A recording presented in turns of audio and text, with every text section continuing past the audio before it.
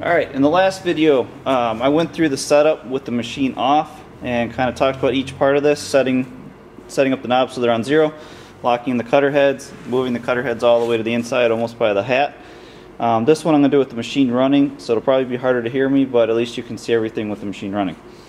Uh, what we're going to do is move this in, turn the uh, little feed handle. I'm going to flip the machine on at this point, everything else will be with the machine on.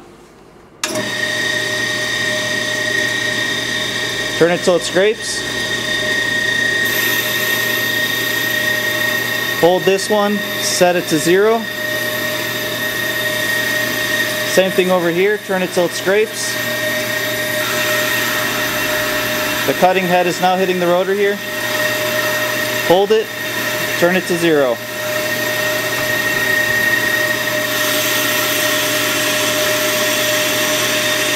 I'm turning the handle until the cutting bit is all the way on the inside by the head of the rotor.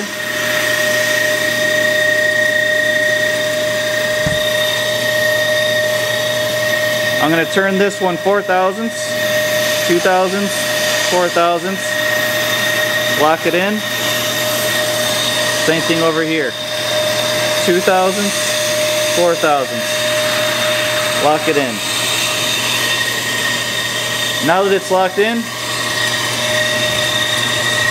I'm going to go to the handle and set it to fast. Pick it up, pull it forward.